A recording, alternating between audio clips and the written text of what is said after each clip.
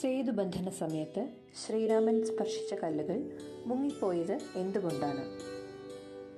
രാക്ഷസ രാജാവായ രാവണനിൽ നിന്നും സീതാദേവിയെ രക്ഷിക്കാനായി സമുദ്രമധ്യേ ഒരു സേതുബന്ധനം പണിയാൻ തീരുമാനിച്ചു. ഹനുമാനും വാനരസേനയും ചേർന്ന് രാമസേതു നിർമ്മിക്കാൻ ആരംഭിച്ചു. അവർ വലിയ പാറക്കല്ലുകൾ സമുദ്രത്തിലേക്ക് എറിയാൻ തുടങ്ങി. അവയിൽ ഓരോന്നിലും ശ്രീരാമന്റെ നാമം എഴുതിയിട്ടുണ്ടായിരുന്നു. ഒരു കല്ലുപോലും മുങ്ങിയില്ല എന്ന് മാത്രമല്ല അത് സമുദ്രനിരപ്പിൽ ഒഴുകിക്കിടന്നു. ഇത് കണ്ട ശ്രീരാമൻ ആശ്ചര്യചകിതനായി.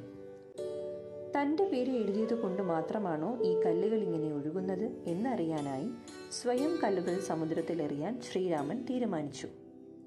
അദ്ദേഹം ഒരു വലിയ കല്ലെടുത്ത് സമുദ്രത്തിലേക്ക് എറിഞ്ഞു ആ കല്ല് സമുദ്രത്തിൽ മുങ്ങുകയും ചെയ്തു.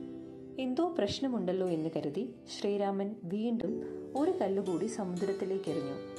ആ കല്ലും സമുദ്രത്തിൽ മുങ്ങിപ്പോയി. ഇത് കണ്ട ഹനുമാൻ ശ്രീരാമൻ എന്തിനാണ് ഇപ്രകാരം ചെയ്യുന്നതെന്ന് ചോദിച്ചു.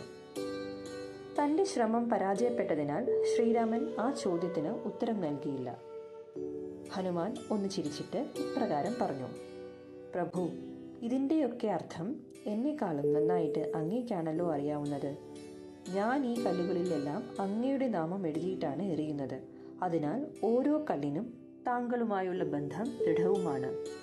അതിനാൽ അവ സമുദ്രത്തിൽ മുങ്ങിപ്പോകാതെ ഒഴുകി നടക്കുന്നു. എന്നാൽ അങ്ങ് ആ കല്ലുകൾ എറിയുന്നത് മൂലം പ്രതിഫലിക്കുന്നത് അങ്ങ് ആ കല്ലുകളെ തിരസ്കരിക്കുന്നു എന്നാണ്. അങ്ങ് തിരസ്കരിക്കുന്ന കല്ലുകൾ എങ്ങനെയാണ് സമുദ്രത്തിൽ ഒഴുകുക? ഇത് കേട്ട രാമൻ അതീവ സന്തുഷ്ടനാവുകയും ഹനുമാനെ അനുഗ്രഹിക്കുകയും ചെയ്യുന്നു. കൂടുതൽ രസകരമായ കഥകൾക്കായി യൂട്യൂബിൽ സന്ദർശിക്കൂ. Endangered stories.